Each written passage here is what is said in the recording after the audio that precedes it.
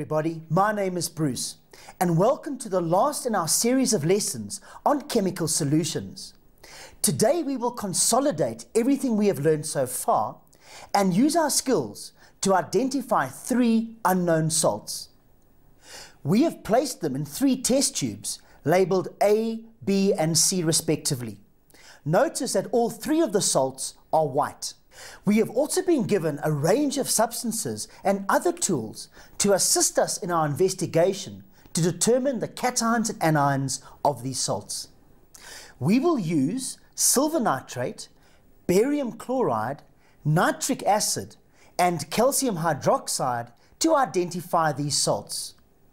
We have access to distilled water, a Bunsen burner and a thin piece of wire for flame tests. We have also been given some clues about these three salts to help us identify them. Because there are thousands of salts, these clues will be extremely helpful to us, so I suggest that you write them down. The first clue is that one of these salts is an ammonium salt and the other two are sodium salts. The second clue is that each of the salts contains a different anion, a chloride, a carbonate, and a sulfate.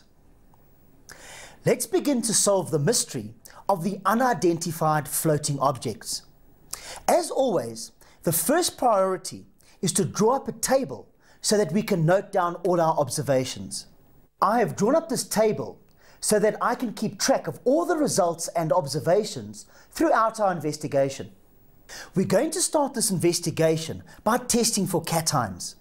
We must distinguish between the sodium cations and the ammonium cation. Can you recall the procedures we used to identify cations? Well, we'll begin with the flame test. We have to dip a piece of wire into each of our unknown salts. Ensure that the wire has a few grains of the salt on it. Hold the wire with the salt on it over a Bunsen flame and carefully observe the color of the flame. Remember to dip the wire in the hydrochloric acid and hold it over the flame after testing each substance to ensure that it is clean. Now let's tabulate our observations and deductions. Salt A gave us a yellow-orange flame. It may be sodium. We need to make sure it is not ammonium before we can be absolutely sure. The test on salt B also shows a yellow-orange flame. Like salt A, it may be sodium, but we would have to test for ammonium before we can be absolutely sure. The test result for salt C is a dull yellow flame, not nearly as bright as for A and B. This could indicate that salt C is an ammonium salt. It's important to note that a negative result can be just as important as a positive one. Now we already know that we have two sodium salts and the other one must be an ammonium salt. So we need to confirm our initial test by testing for the ammonium ion. Can you remember how this was done? Here are our tests for the ammonium ion. First of all, ammonia has a distinctive sharp smell. Now when calcium hydroxide powder is added to any ammonium salt and heated, large quantities of ammonia gas will be given off. We can test for ammonia gas by using moist red litmus, where the litmus paper will turn blue, or using hydrogen chloride gas, where thick white fumes will form when hydrogen chloride gas is brought near ammonia gas. Now let's use these methods to test each of our unknown samples. We set up three clean empty test tubes and label them A, B and C. Add a teaspoon of each salt, A, B and C, to the test tubes A, B and C. Now add a teaspoon of calcium hydroxide to each of the test tubes and stir the mixture.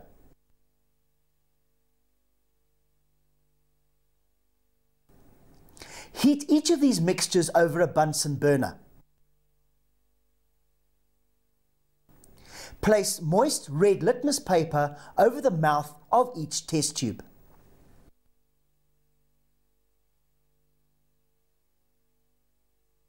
Make sure that you tabulate your observations. In test tube A, the litmus stays red, so it must be definitely the sodium cation. In test tube B, the litmus remains red as well, definitely the sodium cation. While in test tube C, the litmus turns blue, which confirms the presence of the ammonium cation. We can confidently say that A and B are our sodium salts and C is our ammonium salt. We have successfully identified the cations in our unidentified floating objects. Now we need to identify the anions. From our clue, we need to find out which one is our chloride, which one is our sulfate, and which one is our carbonate. Let's begin. First, we dissolve each salt in distilled water to form a solution. We will use small amounts of these solutions to test for the different anions. For each test, we must use clean, dry test tubes and label them A, B, and C. You will notice that all the solutions are colorless. If the test tubes are not labeled, we could easily become confused about which solution we are testing.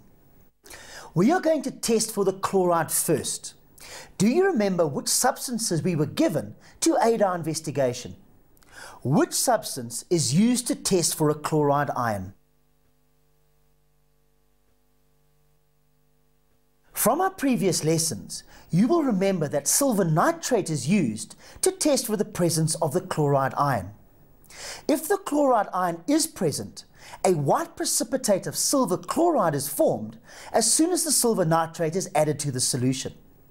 We will also add nitric acid to see if the precipitate remains. Now let's have a look at the test. Add a few drops of silver nitrate solution to each of the solutions in test tubes A,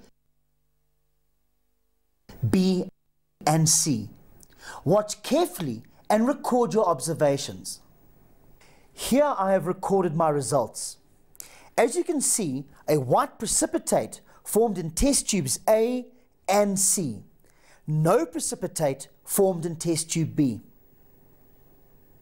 Now we must carry out the second part of the silver nitrate test.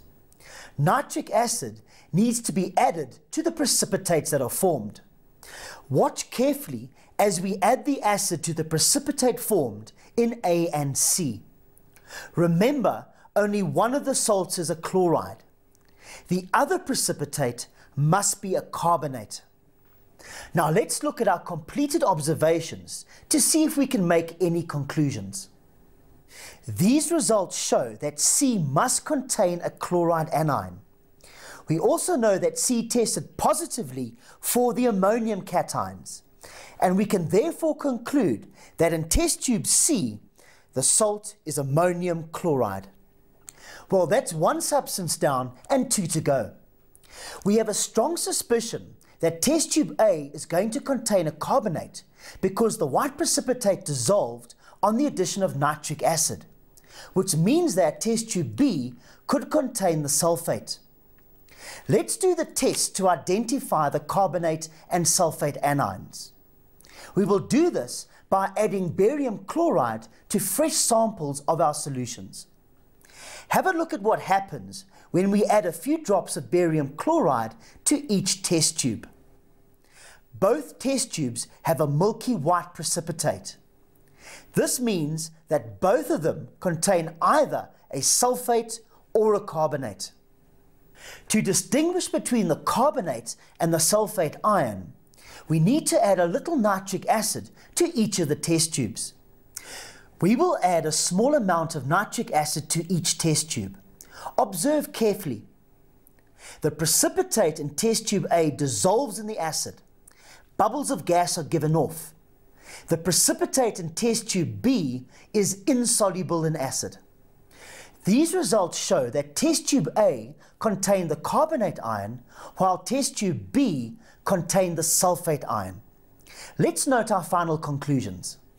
Test tube A contains sodium carbonate, while test tube B contains sodium sulfate.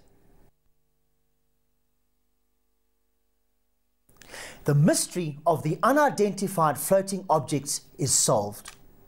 However, I would like to perform one more test to confirm that test tube A did indeed contain sodium carbonate. What I would like to show you is what happens when I add acid and the gas that is formed is bubbled through lime water. What we need to do is add the acid to sample A and then quickly put the stopper in place. The gas releases bubbles through the clear lime water. Do you notice that the lime water turns milky? With this final observation, we can confirm that the salt in test tube A was indeed a carbonate. To clarify the anion identification tests, let's have a closer look at the chemistry of some of these tests. For the sulfate test, the ions are sodium cations, sulfate anions, barium cations, and chloride anions. Can you see that barium ions will attract sulfate ions to form a white precipitate? So we have an ion exchange reaction.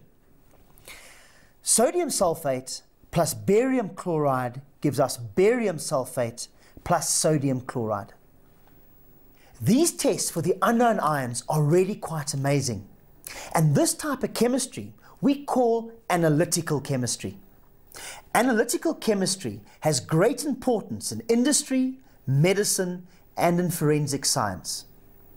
The procedures we have carried out show the basic principles behind the more sophisticated techniques used in a chemical laboratory. I hope you've been challenged to think and to find answers to problems through careful thought and controlled experiments. Whenever you're faced with a problem, never give up searching until you find the ultimate chemical solution. Thank you and goodbye. Yeah.